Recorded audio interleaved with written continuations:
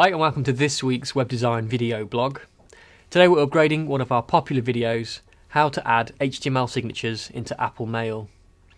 In this updated version we also tackle the missing library folder issue that occurs in the latest release of OS 10.7 Lion. In this tutorial we're going to assume that you've already made your HTML signature or are confident in putting a simple one together in a HTML editor like Dreamweaver or Notepad. I've made a quick example, so let's take a look at that just now. So here's an example of an HTML signature that I've made in Dreamweaver. You can see it's just got some simple text and a graphic. So if we head over to the code view, you'll see that you don't need any HTML or opening body tags. Just use simple HTML4 and CSS2. So you can see I've used tables, simple paragraphs, and I've opened up some styles as well that I'm running within the file. So I'll also add this code to our supporting blog post so that you can copy and paste it as a starting platform for yours. So once you've got your signature ready, keep it open in Safari and we'll come back to that in a moment. So next head over to your mail, head over to preferences and then go over to the signatures tab at the top. You can probably see I've got a few signatures already, but if you haven't, just add a new one. So we'll call this one Akbar for the example. Okay, so if you've got a few boxes like I have, make sure that you assign it to an account as well. And what we're going to do, we've created a file for the signature.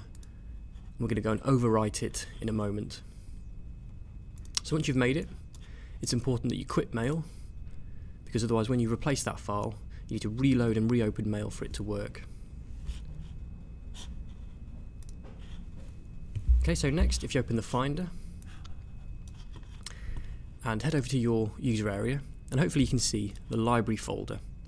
If you can't see the library folder, this is a problem with a lot of computers with uh, OS 10.7 Lion, then you need to uh, basically display it because it's, it's like a sort of hidden folder by default. So to do this, head over to Applications, Utilities, and open up the terminal. Within the terminal, just simply type out ch flags space, no hidden space, that curly squiggle thing, forward slash library, and hit enter to execute that, and that will reveal that folder for you if you can't see it. Now again, I'll put that code uh, available to copy and paste on our supporting blog post. I won't execute that because I've already done that to make mine visible.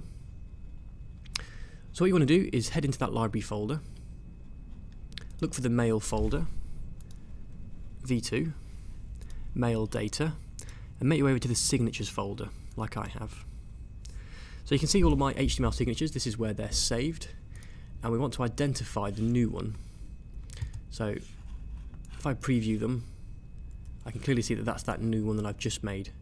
So these are just simply Safari web archive files and all I've got to do to add and replace that is just to simply save over it.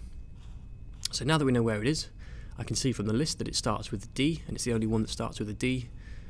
I can go over to my Safari window where I've got my signature open, file, save as,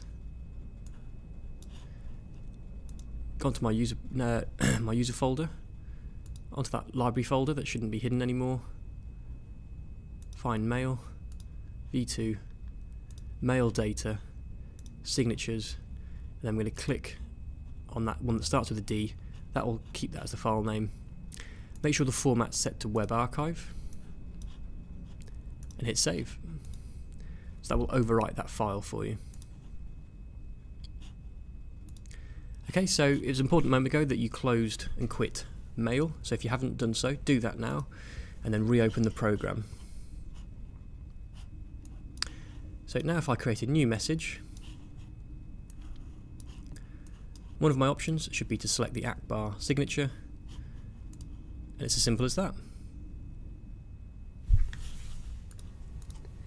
Don't forget to keep your HTML email signature simple.